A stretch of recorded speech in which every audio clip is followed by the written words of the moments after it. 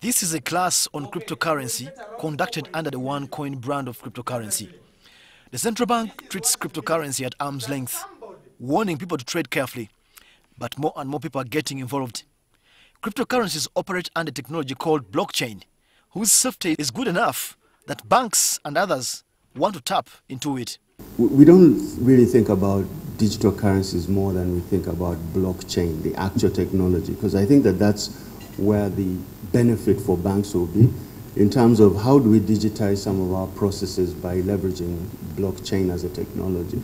With our blockchain system, it records every transaction. Nobody can steal your money, your coins. Nobody can mess up with whatever you have. The term coin is a basic definition of value, the way you would say shilling or dollar in cryptocurrency. The players in this space call this an alternative to paper money as virtual currency. There are people who are using Bitcoin, there are people who are trading, there are people who are, who are using it to buy, for example, at B Forward, they buy cars, they pay in Bitcoin. We have a bit B Forward camp, uh, office in Kampala.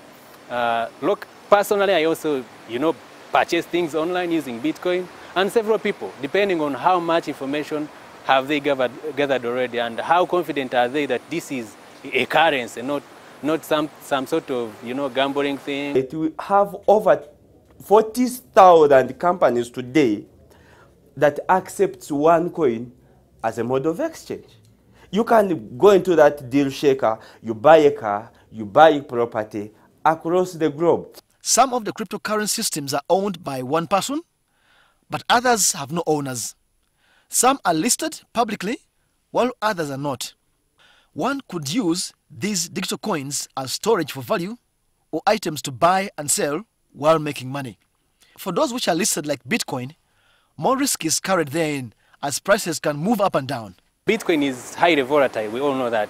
Uh, it goes up, probably sometimes very fast, and then crashes down at some point, and then goes up again. So you're, you're going to need to learn when should I buy and when should I sell with such a kind of currency. Digital currencies are driven by demand and supply. Without the demand, it has no value. So it's the people that gives it value generally.